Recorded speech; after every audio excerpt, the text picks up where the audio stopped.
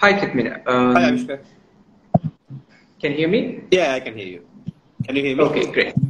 Yes, I can hear you fine. So, uh, thanks everyone for waiting. I think we can get started. So today we have Kithmina Hewage with us. He is uh, currently a senior policy advisor working with uh, basically across around 18 Asian countries. So today we'll just be talking about um, the IMF agreement, uh, kind of what it is, what it means for Sri Lanka, and also a little bit beyond that, kind of what are the next steps for Sri Lanka. So as always, you can put your questions in chat or just uh, click the question and icon and send it across and we'll deal with them at the end. So to kind of kick things off and give everyone a bit of context, I'm sure you all know the IMF board basically approved uh, the extended fund facility arrangement uh, on the 20th of March. There's been a lot of talk around it. So two kind of uh, ways people have started talking is one that it's kind of a bailout. They refer it to as the IMF bailout. And on the other hand, you have people who calls it kind of like this loan and we're going back into debt. So maybe we can just start off by kind of clarifying exactly what is this so-called IMF agreement or the extended fund facility we've uh, gotten into. Thanks, Avishka. And first of all, thanks for having me. Uh, I want to start off by clarifying that I'm speaking on my in my personal capacity. Uh, so what I kind of discuss here shouldn't be affiliated with any organization that I'm uh, part of. Uh, so to answer your question, um, it's basically basically a bailout loan. So it's it's the, the two terms that you use, uh, then they're not different. They're basically the same thing. Um, and what happens is the IMF is a lender of last resort. What that means is that when countries are in crisis and they need uh, assistance uh, and they need kind of uh, dollars basically to uh, show themselves up, uh, then they go to the IMF. And, and the IMF loans out money uh, at a certain interest rate.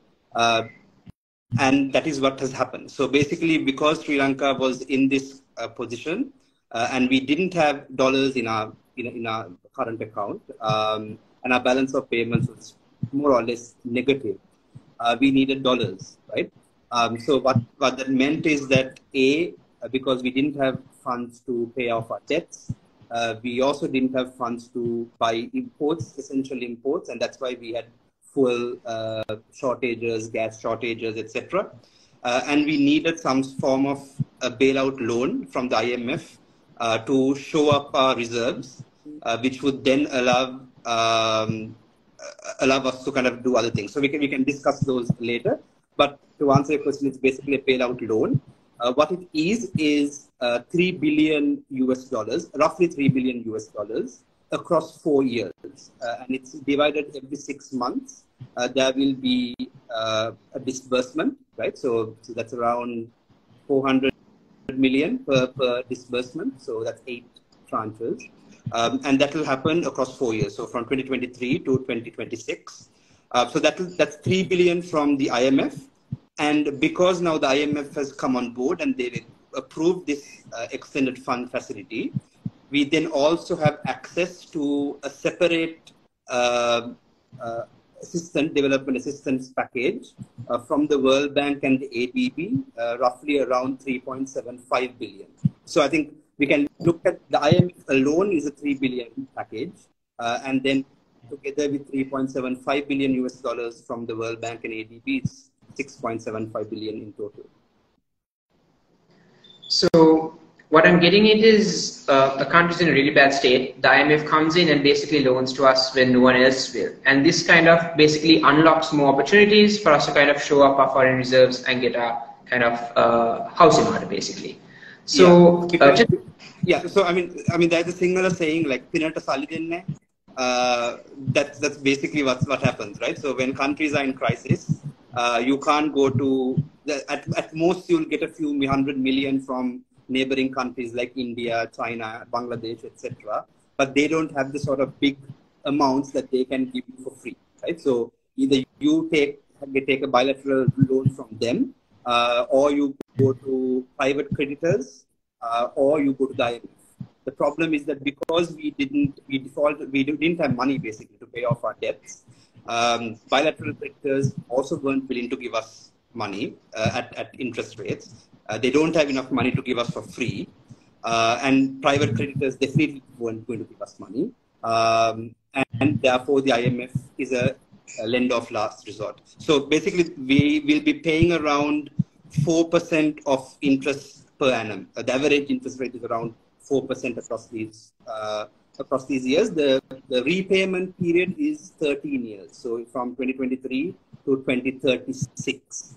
Um, so 4% uh, average annual interest. So uh, just to clarify, when does the repayment kind of begin? Because we basically get the money in uh, stages for four years. Then does the repayment begin with interest soon after that? Uh, how does that work? Yeah, so the repayment will start in uh, from next year onwards, uh, but it's a small percentage, a very small amount. Um, and what it will allow is it basically peaks. The most amount we have to pay is around 478 million, uh, 478 million uh, dollars in 2031. So that's the that's where when we have to pay back the most. So it's it's structured across the 13 years so that we don't have to pay much now. Uh, in the short term, we have to pay a lot, uh, the, the, most of the chunk in 2031, and then we taper off at the end. So since one, we also have to pay that, and then at the same time, we also have other debts to manage. It's kind of almost uh, like a gamble or a second chance where we need to make sure we do the right thing and we don't essentially let this opportunity go to waste. Uh, but just before we move into maybe the more details of the agreement and also kind of um, the sense of what we do to get a, uh, go forward, I just want to um, maybe just uh, go over the different programs you've had. Mainly, we used basically the standby, um, if I'm not uh, mistaken, uh, it's, it's, a shorter term agreement, but this time we've gone for the extended fund facility or the EFF, which is the uh, four year longer term. So, could you perhaps just highlight the differences between these two programs and uh, perhaps the purpose or the aim of the EFF compared to one of those more shorter uh, almost surface level kind of programs. Yeah, so basically, when countries face shocks, uh, so it can be, for example, during the pandemic, um, a, a, lot of countries went to the IMF for short term adjustment uh, programs. So those are two year uh, programs. The IMF will give a few uh, million or maybe billion. Uh, it's a very short term, and then the country is able to kind of repay it, basically to to protect its, itself against short term shocks. Uh, so uh, this is why uh, a lot of economists, quite a few of us were recommending the government to go to the IMF in 2020 uh, because we were in, in, in a crisis and it was obvious that we were in a crisis. And had we gone to the IMF then, we wouldn't have had to borrow this big an amount, firstly. Secondly, we wouldn't have had to default on our debt, right? Um, and thirdly, we wouldn't have been paying this the four percent of interest. At the time, interest rates were much lower, so we would have paid much lower interest at the time as well. So basically, the, the, the decision not to go to the IMF at that time has led to a lot of catastrophic economic uh, consequences, which led to the crisis last year. Uh, and now we are going to the IMF without any money in the bank, uh, basically. And then that is why we have now uh, had to go to the EFF, the Extended Funds Facility, uh, which is structured across the 13 years. Okay, um, so then just jumping back into kind of how this program is going to work. So one thing about it is, like you said, uh, the money is given in stages, but my understanding is also it is contingent upon, uh, to an extent, meeting certain targets. And at the same time, there's also a review process uh, to make sure that basically the country doesn't go off track. So maybe we can start with just kind of explaining how the IMF review process works uh, throughout this period. Uh, so the IMF will do a review every six months uh, before they disburse uh, the tranche that was that we spoke about earlier. So the like I said, the three billion is divided into eight uh, and every six it, it's equal across the eight uh, the, the eight tranches. Uh, and that means that every six months the IMF will do a review to see whether we have um, fulfilled the criteria. Um, and then we can discuss what the criteria is. I'm sure you'll ask me later. Uh, and once uh, once the IMF is satisfied that those criteria are met then they will they will disburse that tranche. So the, the 400 or uh, if we, for example, don't fulfill the conditions and kind of implement the reforms and so on, then the IMF has the right um, and the legitimacy to hold back the money uh, and not and not disperse it. Okay, so you kind of touched upon basically where I was going to follow up with that. Uh, since it's so vital that we have continued access to these funds, uh, turning to some of the targets or the the reforms that uh, they expect us to do. Um, we can maybe start with some of the more immediate ones uh, when the first review is coming up and what they kind of expect us to have done by then. Um, and also whether the government has taken any steps to kind of uh, completing this first part of the program. Mm-hmm. Uh, well, uh, there are broadly speaking six objectives that are uh, in the IMF program. And by the way, this agreement is publicly available. So anyone who claims that it's a secret, it's lying to you. Uh, it's all it's, it's publicly available. You can read the staff report uh, that is there. Um, so uh, the first one, I think the big one is fiscal consolidation. And under that, there are several factors. And what fiscal consolidation means is that uh, the government has enough money to operate, right? Um, and what so the first one is revenue, um, and that is, for example, we've seen the tax increases, that we've seen the tax adjustments that we've seen recently. And why this was necessary is that in 2021, our tax revenue to GDP ratio was 7.3%, which is one of the lowest in the country, in, in the world, sorry. So if a government doesn't have tax revenue, it, it can't, it doesn't have money to spend on basic public services like education, healthcare, defense, infrastructure, etc. So to then cover the, those costs, you borrow, right? And then you get into debt. And that is why we have got into this mess because we have a very low tax revenue and then, then we try to cover it with debt and then we eventually don't, have money to pay off that. That is just a very simplified version of what has happened. So the first thing is to kind of improve our uh, revenue and according to the IMF estimates, the tax increases that have happened, the tax reforms that have happened, uh, will likely increase it by around 6% of GDP. So from around 8% next year, it had, had, had these reforms not been done, it will go to around 14% uh, is, the, is the estimate. Uh, so the tax is one thing. Uh, the second one is on the spending side of it. So it's not good enough just on the in, in kind of taking in taxes. It's also important to uh, reform our spending. And so, for example, loss-making uh, state-owned enterprises, uh, for example, Sri Lankan Airlines, right, is, is the most famous one, uh, and others, and making sure that we also don't spend on unnecessary, you know, infrastructure projects that don't bring any revenue, right? Um, you know, phallic symbols in the middle of the city capital, for example. Uh, and then also kind of making sure that we make uh, other spending. So, for example, public sector spending and so on. So, making sure that our revenue, our expenditure is controlled. Uh, the third thing is on making sure that our social safety nets are a lot more efficient.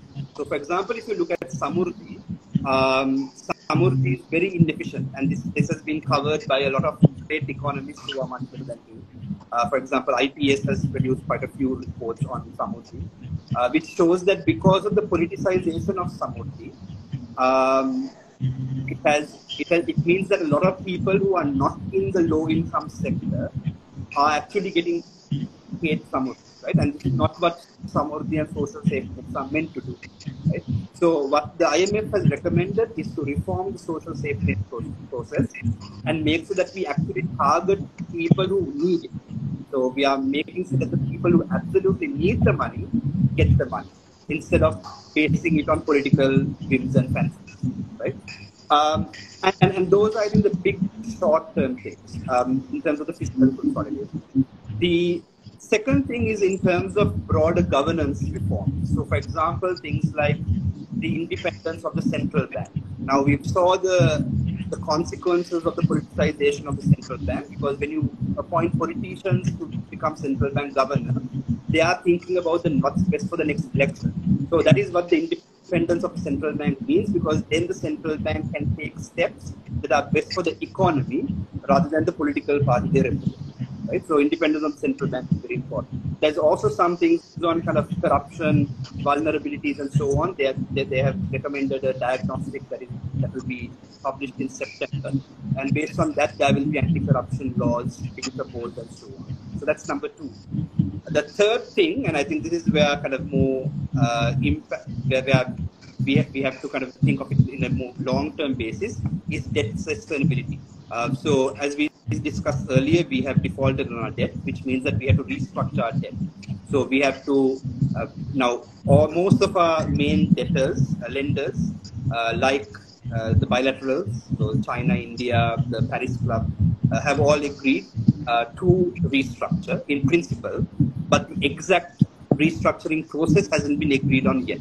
So we have about an year, uh, including the bilaterals as well as the private lenders, to restructure our debt and make sure that um, our debt is in a sustainable uh, position uh, by around 2027. Um, and that, that is kind of the broad estimation. So I think those are the three big uh, ones uh, in terms of fiscal consolidation, uh, governance reforms, and debt restructuring. Um, and underlying, in, in addition to that, there are other kind of smaller things uh, which are also important, uh, like financial stability, so making sure that the domestic banking system is stable, uh, making sure that we have economic growth. So it's not just austerity, right? It's not just kind of cutting uh, any sort of uh, all the money and not doing anything. We have to make sure that our growth, that our economy also grows. Uh, so there are other things as well. Those those are also factors that will play. Um, but I think those are the, the three big things are what I spoke about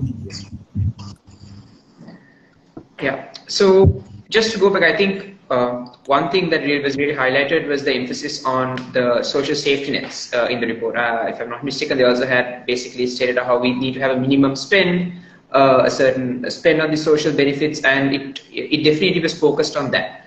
Um, one thing I'd also uh, like to just go back on, in addition to uh, the revenue side, we talk about the expenditure and governance. I think there was overlap where they started, uh, they were basically talking about making sure we have a framework in place to manage these uh, public expenditure. Because I think one, one reason is basically bad economic governance. Um, so what are your thoughts in terms of uh, that aspect of it?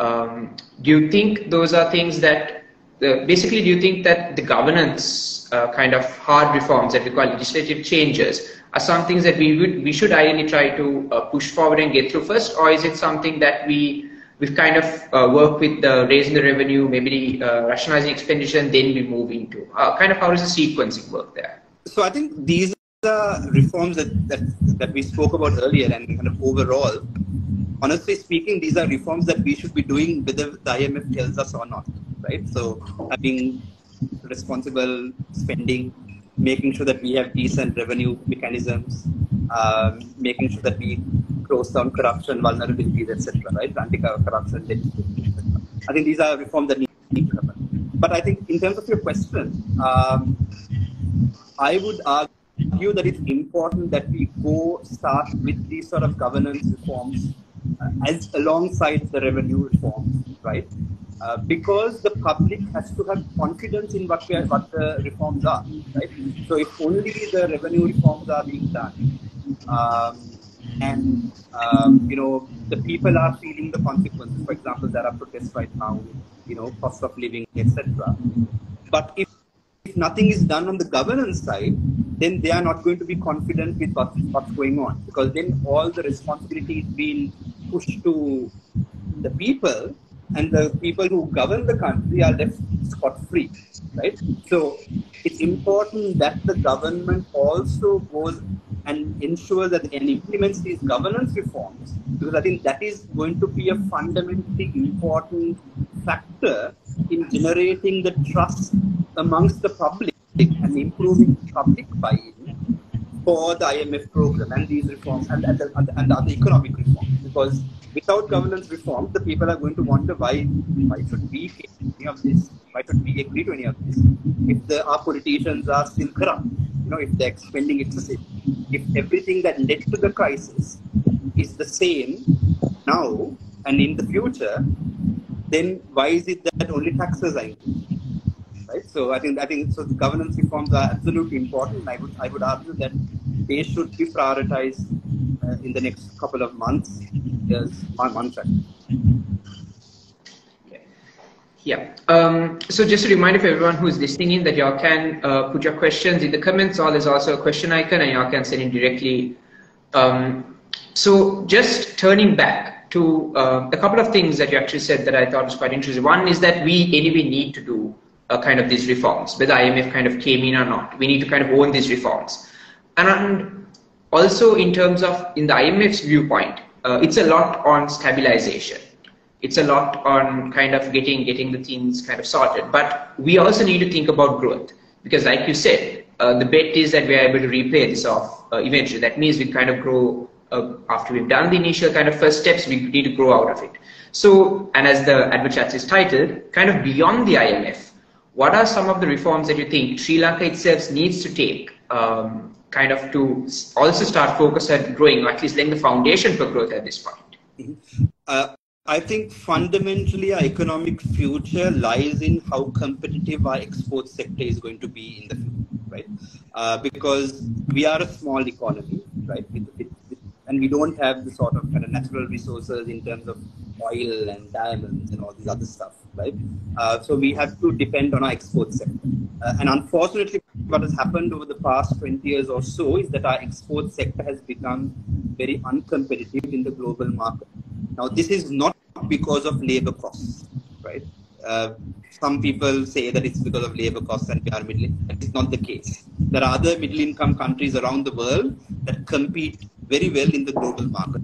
The reason why Sri Lanka has failed to compete and our export sector has actually deteriorated over the past decades is because of our protectionist inward looking economic policies. Because we have tried to implement a weird import substitution economic policy uh, and, and and that is uh, that is not tenable that is not workable in Sri Lanka because the, uh, uh, ultimately we have to import raw materials to produce these import substitution uh, goods right so what we need to look at it is improving our competitiveness in the world and to do that we need to move away from protectionism and we need to encourage more foreign direct investment in the country.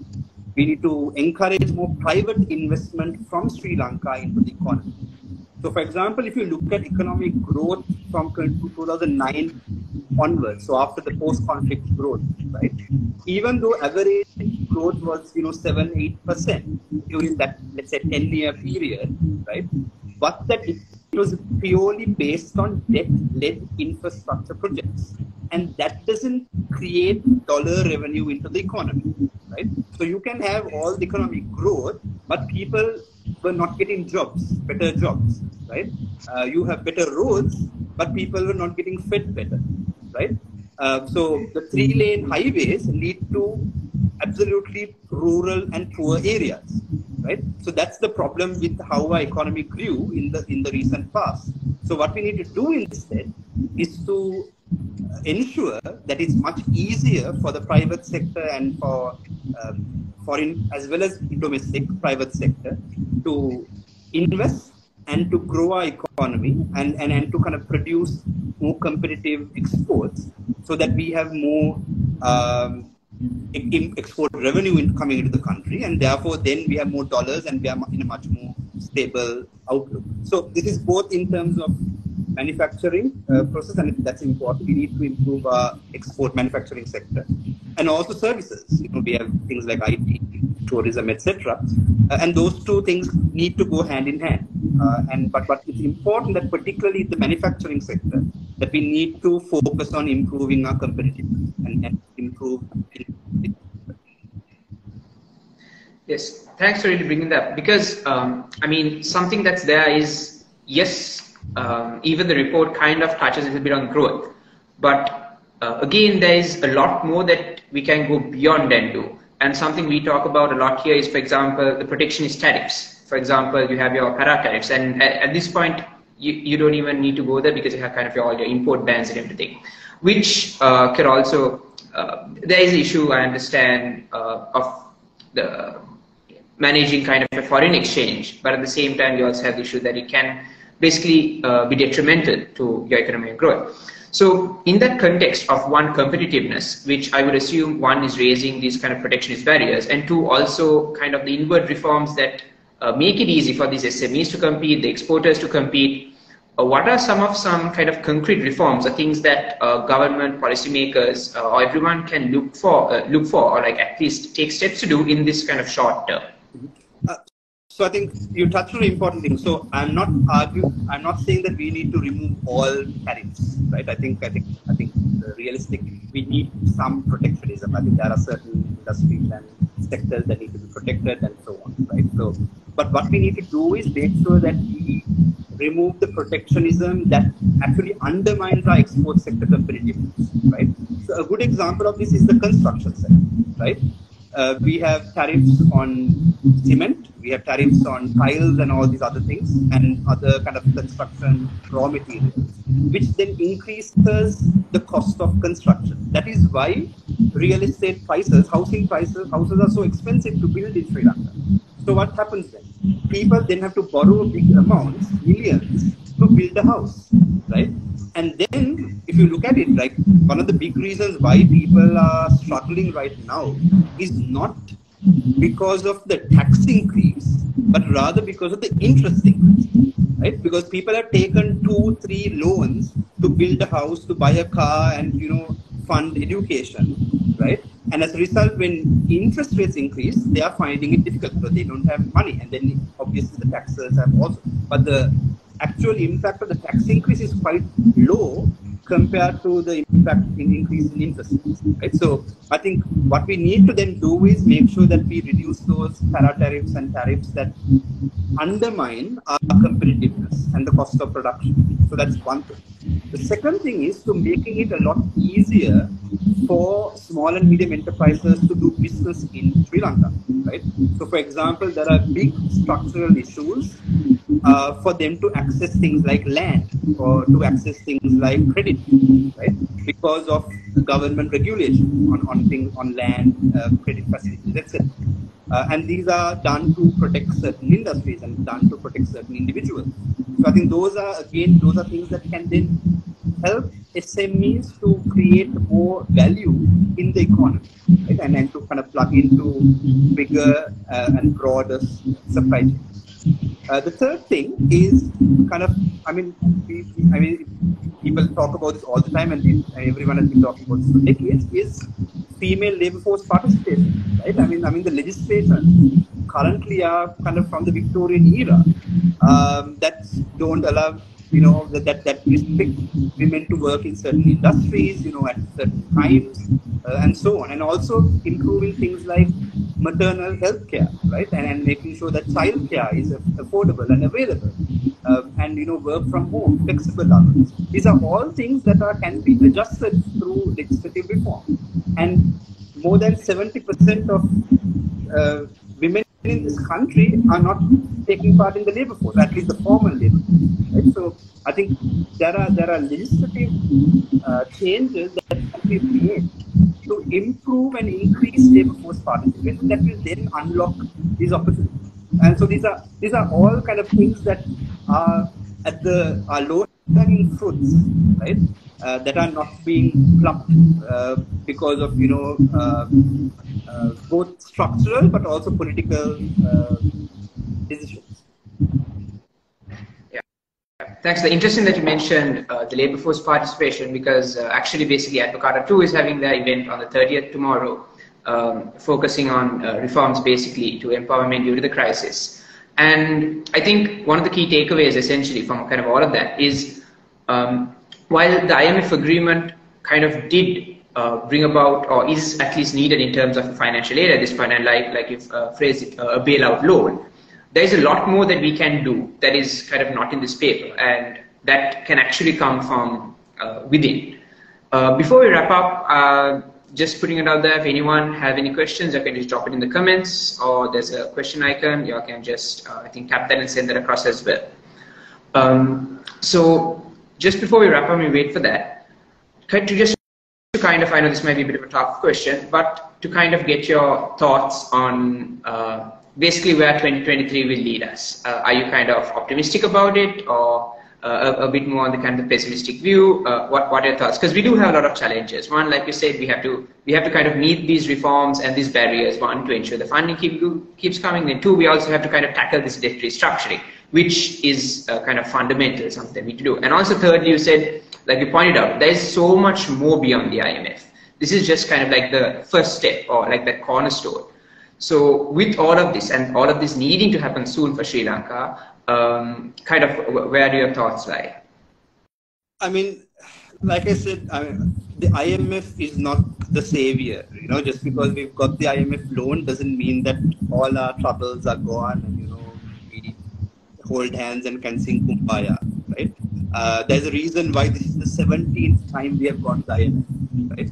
Because in the in across the 16 previous times, what happens is we get a uh, IMF assistance, we get IMF uh, uh, assistance, we go to a program, we start implementing things for about a year and a half, and then we give it up and go back to our bad ways, right? Uh, and then we go through this cycle. So every four five years, we go through a cycle of going to the IMF. The difference, of course, is that this we have never faced this sort of crisis, right? So we have are now in a position where if we don't implement the reforms that are needed, right, to stabilize the economy and, and improve our economic position, we are going to go into another crisis within the next four or three years, right? So it is absolutely imperative to implement these reforms. There is no way that we can back off one year in because we are in that crisis. So the fact that we have no other option kind of gives me optimism, or maybe I should say hope, that maybe this time around we will actually implement the reforms that we need to implement, right? And that we will go through the process. Um, and I think that is important because at, at, that position we need to make sure that we are fiscally responsible uh, and our debt is also sustainable? And and also we, that we are in terms of our trade that we are conducting. So that gives me some hope that we have no other option but to. Of course, I'm a political skeptic. Um, so just because you have laws doesn't mean that things are going to be rosy. It's all about implementation of those laws. So, for example, there's an anti-corruption law in the pipeline. Just because we have a law doesn't mean that it's going to be implemented properly, right? So the fundamental thing here is Avishka, independence of institutions. So we spoke a little bit about central bank independence, but also other institutions, the judiciary, the civil service, right? The fact that the bureaucrats also are independent from political interference and that they are able to implement these reforms and not be swayed by political reasons? So I think those sort of broader reforms that are not not part of this IMF, but those are the things that will actually make me hopeful and optimistic of the future if we can implement them. Uh, so I'm hopeful that hope, I'm hopeful that we might be able to uh, get through this because if we don't, we are definitely going to be in another crisis and, and actually a bigger crisis than what we faced three to last year uh, if we don't uh, reform because uh, the, the, the the circumstances are such. So hopefully recognizing that across the board, it shouldn't matter what political party you're from. These reforms are needed for the betterment of the economy and for the betterment of the people. Right? Uh, being responsible with your money, being responsible with how you spend your debt, making sure that you are not corrupt, independence of institutions are all good things and shouldn't uh, shouldn't waver based on what political party you vote for. Uh, and hopefully our political leaders realize that as well. Uh, thanks a lot for that, Kitmin. I think um, you balanced out both being not too optimistic but also not too pessimistic there. Um, so I think with the basically the chat coming to end, uh, I'd like to say thank you for your time and thank you all listeners, anyone who missed out. Basically, um, we've covered quite a lot, I think. You kind of dispel kind of the myths around it, give a bit of clarity to exactly how this fund works, how the money comes, how the repayment works. Uh, also give a broad overview of what this uh, kind of agreement entails. And more importantly, that there's a lot we have to do beyond this, both institutionally and also kind of three main policy areas related to competitiveness here and the trade, the SMEs, and the female labor force participation. So I think you've given uh, everyone who listened in and also me quite a lot to think about in terms of kind of how we move forward from here uh, and where kind of uh, as citizens as well as where our focuses uh, should be. So uh, thanks a lot for that, Kithmina. Uh, any kind of last words before you wrap up? Uh, no, thank, you very much for having me uh, and uh, happy to join today. Thanks. Thanks a lot. See you everyone.